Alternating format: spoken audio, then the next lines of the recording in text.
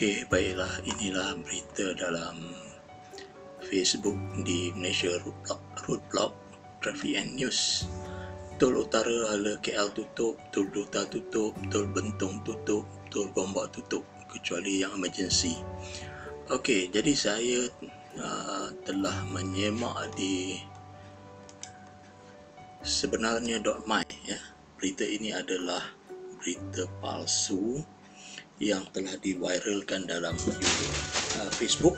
Jadi Plus Malaysia mengumumkan bahawa tetap beroperasi sepanjang tempoh pemerintah kawalan pergerakan daripada 18 hingga 31 Mac 2020.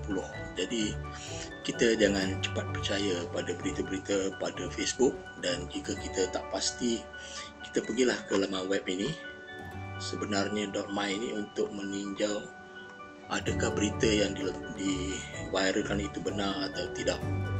Okey, ini salah satu contoh ya. Uh, usaha untuk menakut-nakutkan orang ramai di Facebook. Jadi jangan percaya